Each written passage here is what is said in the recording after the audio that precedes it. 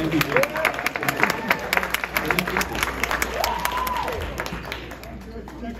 By the way, that's true. We we threw this guy named Matt into this uh, literally like four hours ago, um, and he uh, learned it all. So yay!